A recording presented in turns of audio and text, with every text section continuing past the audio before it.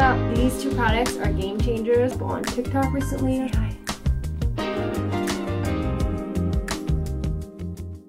Hello friends, welcome back to my channel. If you're new, welcome. My name is Christine. Today I'm really excited to share an updated skin routine. In my last Get Ready With Me, I did share a quick little skin prep situation, but I thought it would be helpful to dive into a full skin routine. like in high school, I struggled a lot with hormonal acne. I had a lot of breakouts, texture, and I feel like lately I've just gotten a routine that really works for me. A lot of the products that I use are Korean beauty products as well, and I also will link some some affordable options down below in case you're on a budget. I have really oily acne prone skin like I said but my skin's also very sensitive. In the summers here in LA it gets pretty hot and when it gets really really hot my scalp will actually get clogged so I've gotten these like tiny little bumps on my forehead. It starts at my scalp and kind of moves down onto my forehead. I found that the best thing that helps me is literally just icing my forehead. I'll take like a headband and kind of just like hold the ice pack to to my forehead. So if you ever get anything like that, I think it's called a heat rash. I did go to a dermatologist and she said that there's no topical product that you can apply or anything that you can take for it. It literally is just pores in my scalp getting clogged from the oils that my skin produces. And then just because it's so hot, sweat and oil, it just causes tiny little breakouts like that. Whenever that happens, I just wash my face very, very often in the summer. I won't even wear makeup. And that's a good thing about having a really great skin routine too is I feel like it allows me to do less with my makeup. Also, while I was in high school, I did struggle with hormonal acne and I would get a lot of the bigger bumps, almost like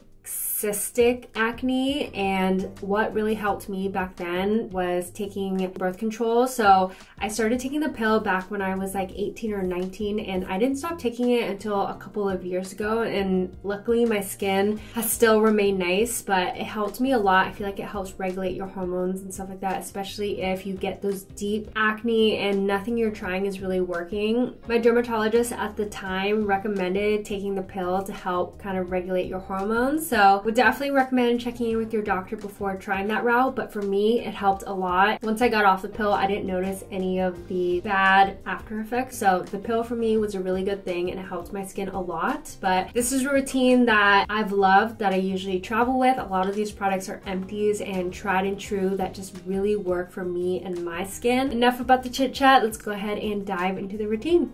I have nothing on my skin right now. Truthfully, I did apply a little bit of a lip tint because naturally I feel like my lips are so grayish beige, so I'm self-conscious of that. And I've been really liking this Benefit lip tint just to add a little bit of color. Anyways, first thing that I normally do is I cleanse my skin. This is such an important step to your routine. Every day, morning and night, I cleanse for 60 seconds and this single-handedly has made the biggest difference in my routine. Right now, I'm loving the Origin Checks and Balances Frothy Face Wash. Talked about it in so many of my skin videos and this is just a favorite. So many times, even when you're washing your hands, you'd never really just rinse your hands under the sink with soap for like five seconds and be done. They tell you to sing the ABCs, so very similar to cleansing your skin, especially if you wear makeup, sunscreen, you wanna make sure you just get everything off. And this is a cleanser that both Brand and I love. I cannot tell you how many I've gone through and you really wanna get in there. You don't wanna be too rough, but make sure you get all the tiny little areas. If there's any areas where you break out a lot, make sure you focus a lot of that on there. After skin is cleansed, it feels squeaky clean, especially going in there for so long, making sure we get everything off. Next step is toner. This one I've been loving. It's from Sulwhasoo. It's Essential Comfort Balancing Water. I actually worked with this brand last year, but ever since I used this combo, I'll talk about this product later, it has made such a big difference in my skin. It's giving me that glowy, glassy look and I feel like it's the next step to take your skin from like great to amazing and I would get questions all the time about my routine. So this toner is very thick and I apply it straight into my fingers. And I used to use a cotton round when applying my toners, but I feel like it is actually a big waste of product and sometimes your cotton rounds can leave residue on your face. So I like using the rounds just for removing eye makeup or if I want to use like micellar water. Sulwhasoo is expensive, but it makes such a huge difference in my skin, but I will link a lot of similar products down below if you have a different budget. Next product, I actually think you're supposed to use this before the toner, but sometimes I forget. And this is amazing. If you were to buy one thing from this entire routine, I would say these two products are game changers. The toner, sometimes I'll swap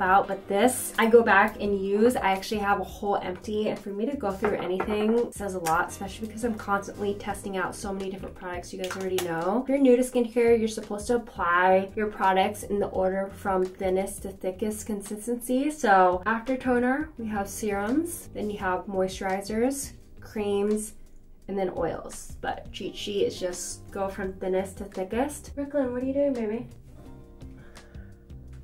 Brooklyn's in the bathroom with me and I can hear her like playing around with the bath mat. What are you doing? You're gonna lick all my skincare off. Next up in my routine is eye cream. I've been loving this. I realize I've been talking about it a lot. This is also expensive, but I'm 28. I've always loved skincare. I've loved investing in my routine and this is just something that I keep going back to. I love that it's a liquid form and there's no frills to it. It's not super heavily fragrance or anything like that and it just really hydrates my under eyes. A lot of the creams I use are either too thick and it gives me milia, like those tiny little bumps, or it's not hydrating enough. And this one is great before and after makeup, preps my skin. I'm probably gonna use this up into my wedding day to prep my skin. So I really, really like this. I feel like I have to use an acne serum every day or every other day to kind of keep my skin under control because I have really acne prone, oily skin and I just need to make sure I constantly have some sort of like acne fighting ingredient. And this one, I always go back to. I've been through so many of these. This is the Peace Out Acne Serum. It has 2% salicylic acid and niacinamide and zinc, which really help to fight breakouts. I feel like the niacinamide helps make the serum a little bit more gentle on your skin. So many times I've used acne serums where it's really rough or it burns my skin. You definitely don't want that. But something like this, I notice a huge difference. Even when I don't have it, I'll notice my texture gets a little bit more uneven or noticeable. So this is something that I always go back to. And even when I'm having good skin days, I always use this. It's a good all-around serum that's gentle. It's not super rough or anything like that. And it doesn't pill underneath makeup as well. If you spend a lot of time time on your skin routine, everything is gonna be easier. Doing makeup, you can do more natural days. I just feel like the more you invest in a good skin routine and taking the time to find products that work with your skin, I just think it's so worth the investment. Okay, next product that I've been loving, I'm almost out of this, and this is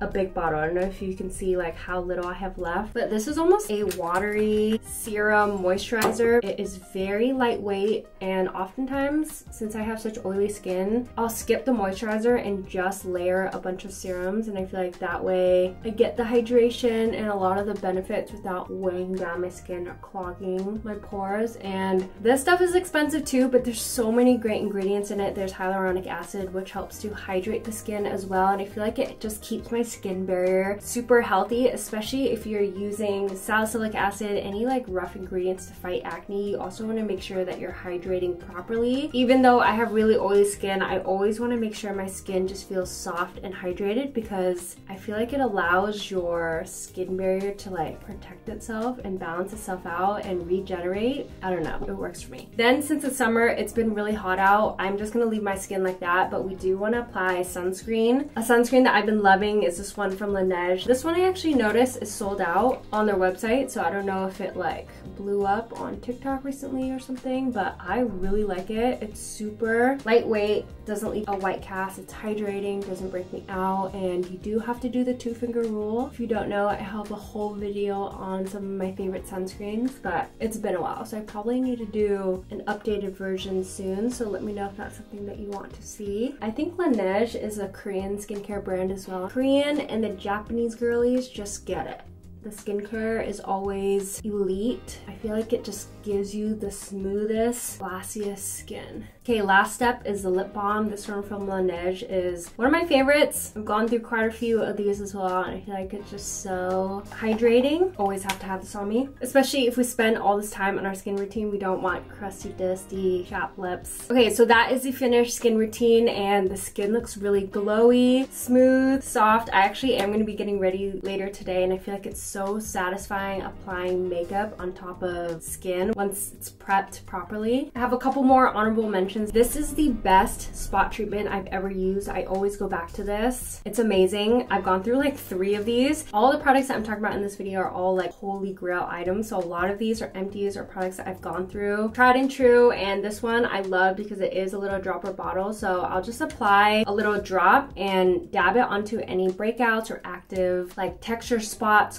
clogged pores that I have. And I love that it's not super drying, but it is still super effective. It works well underneath makeup. I have tried a couple spot treatments where it dries out my skin and then when I go to put on makeup the next day or something, it's like cracked or it doesn't apply properly because the skin is so dried out. So I love this one because it is so hydrating, but it does fight my breakouts really well. I put a lot of people onto this. I love this. I will continually repurchase this because it is so good. Another product that I can't live without is a vitamin C serum and vitamin C is great for evening out your skin tone if you have dark spots or anything like that. This actually contains lactic acid as well, which helps to smooth out skin texture. So I feel like I have a lot of serums layered on right now, but if I have a day where I don't want to use my Out Acne Serum, I'll instead use this. So this is the finished skin.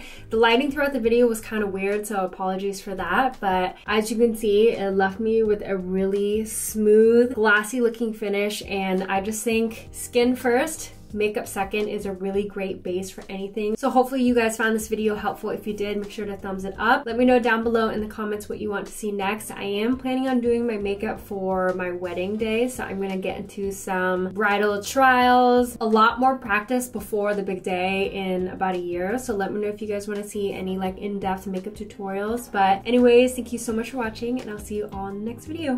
Bye. Are you barking? What are you at? looking at?